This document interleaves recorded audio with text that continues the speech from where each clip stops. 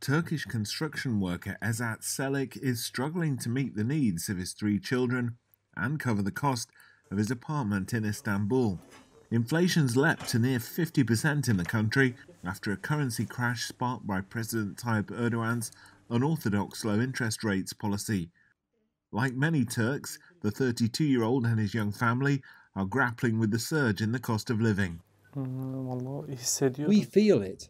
I have three kids and I'm having a hard time meeting the needs of my children.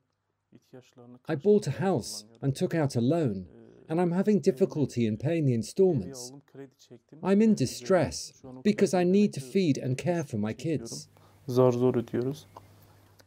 Celik and his wife have cut back their own diets in order to feed their children. He says diapers and baby formula for his newborn son cost twice as much as last year. As the family breadwinner, he's also struggling to find work. They've had to seek help from a crowdsourced aid initiative initially set up by the city municipality for families hit by coronavirus lockdowns. Celik submits his utility bills, which have doubled in the last year, to the scheme for payment. The government says credit, exports, and investment will help the country weather inflation.